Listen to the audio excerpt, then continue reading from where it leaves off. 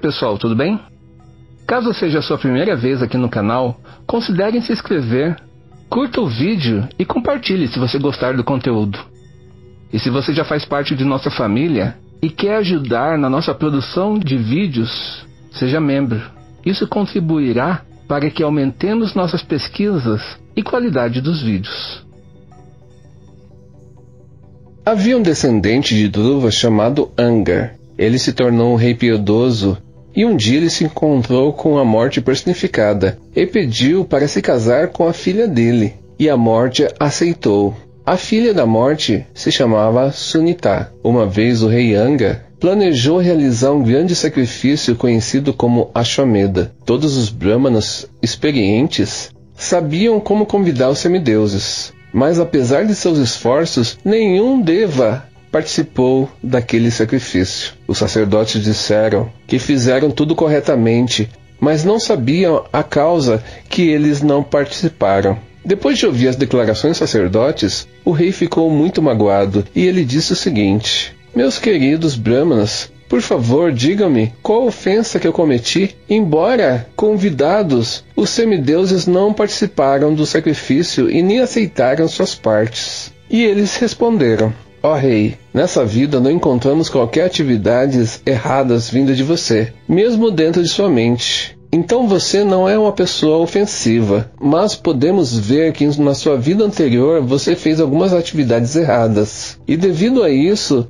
você não teve um filho, mas se orar imediatamente para o Senhor Supremo e pedir um filho e se executar um sacrifício para esse propósito, ele poderá realizar o seu desejo. Quando o Senhor Supremo Hari for convidado e realizar o seu desejo por um filho, todos os devas virão e eles receberão a parte deles no sacrifício. Assim, para ter um filho, o rei Anga decidiu oferecer oblações ao Sr. Vishnu. Assim que as oblações foram oferecidas ao fogo, uma pessoa apareceu no altar usando uma guirlanda de ouro e uma roupa branca ele carregava uma panela de ouro cheia de arroz fervido ao leite. Após obter a permissão dos sacerdotes, o rei pegou o preparado com suas mãos unidas e ofereceu uma porção à sua esposa. Depois de comer aquela comida, a rainha engravidou e, no devido tempo, deu à luz a um filho. Embora tivesse a dádiva de ter um filho vindo do Sr. Vishnu, o menino nasceu com uma tendência vinda do seu avô, e enquanto foi crescendo, ele começou a se inspirar ainda mais no avô, que era a morte personificada, e se tornou uma pessoa extremamente impiedosa. Depois de conseguir um arco e flecha, o menino cruel costumava ir para a floresta e matar animais inocentes, desnecessariamente. E assim, quando ele chegava, todos gritavam: Lá vem aquele cruel Vena. Aí vem aquele Vena. O menino era tão cruel que, brincando com meninos da mesma idade, ele os matava sem piedade, como se eles fossem animais. Depois de ver o comportamento desse menino, o Ryanga o puniu de diferentes maneiras tentando reformá-lo, mas foi incapaz de conduzi-lo ao caminho da gentileza, e isso o deixou muito magoado. O rei pensou consigo mesmo: pessoas que não têm filhos certamente são afortunadas. Eles devem ter adorado o Senhor Supremo em suas vidas passadas, para que não tivessem que sofrer a infelicidade insuportável causada por um filho de má índole. Um filho pecador faz com que a reputação de uma pessoa desapareça suas atividades em casa causam briga com todos, e isso cria muita ansiedade para todos que não têm fim.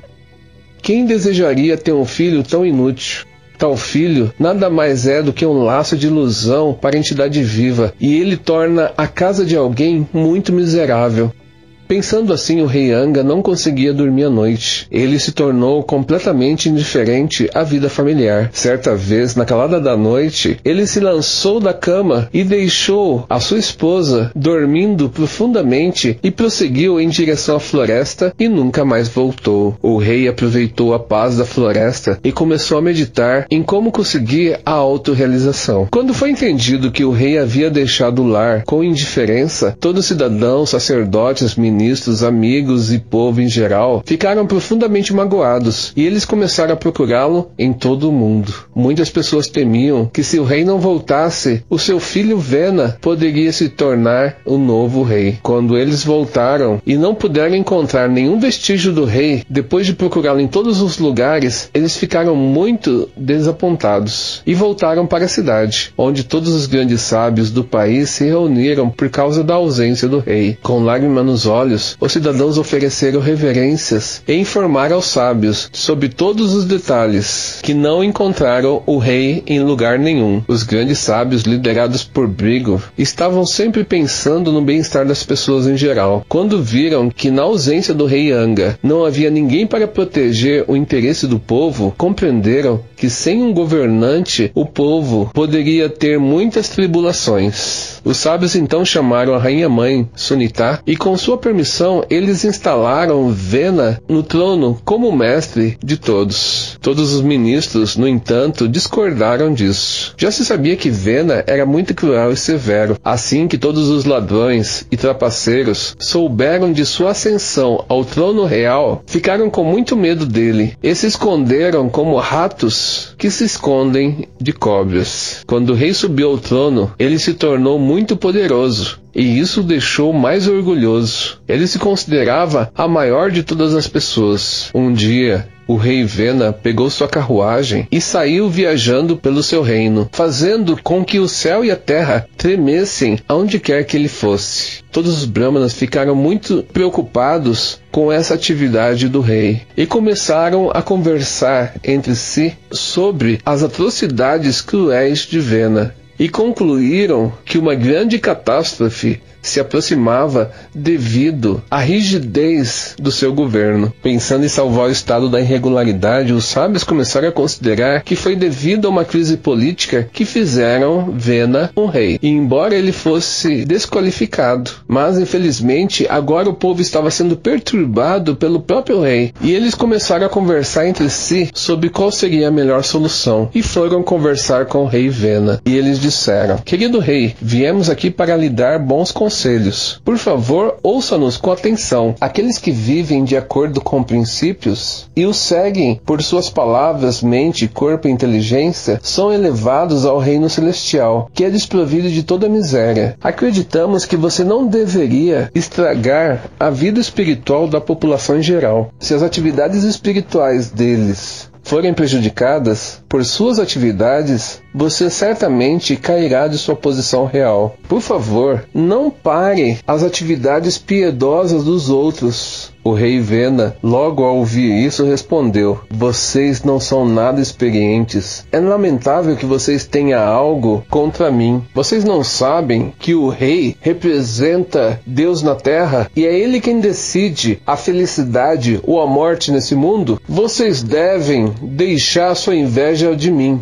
E se vocês forem inteligentes, devem saber que não há nenhuma outra personalidade superior a mim neste mundo ou no universo. O rei Vena, tendo assim ofendido os sábios com suas palavras, os deixaram muito zangados com ele. E os sábios disseram: Este homem ímpio é atrevido e não merece sentar no trono. Os sábios manifestaram assim a sua raiva velada e disseram que seria melhor o mundo sem esse rei.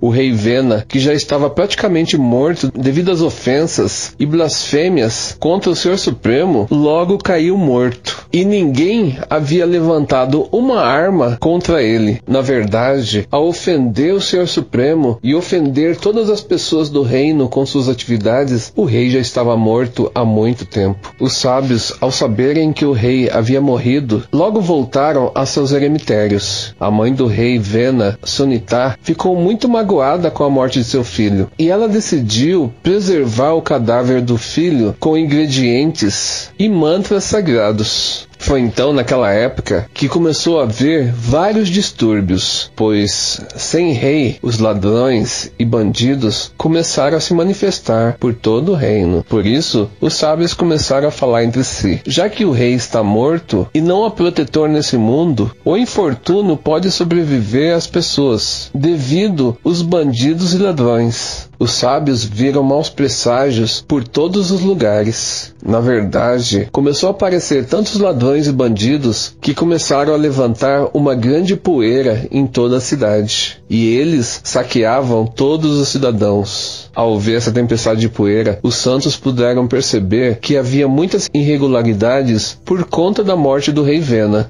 Sem governo, o Estado estava desprovido de lei e ordem, e, consequentemente, houve uma grande revolta de ladrões, bandidos e assassinos. O rei Vena não havia deixado nenhum descendente, e ao mesmo tempo, o reino precisava de um rei. Os sábios concluíram que toda a linhagem do rei Vena anterior a ele eram de pessoas piedosas e santas. Então, de alguma forma, a sua linhagem deveria continuar. Então, eles aproveitaram que o corpo do rei ainda estava preservado com diferentes óleos e mantras e pegaram esse corpo e com mantras sagrados eles agitaram a coxa daquele cadáver. E como resultado dessa agitação, uma pessoa apareceu daquele corpo. Essa pessoa, nascida da coxa do rei Vena, se auto-intitulou como Barruca. Ele parecia um pequeno demônio todo deformado, com os braços curtos, as pernas curtas e bem avermelhadas. E seu cabelo era da cor do cobre. E Barruca, logo que nasceu, perguntou: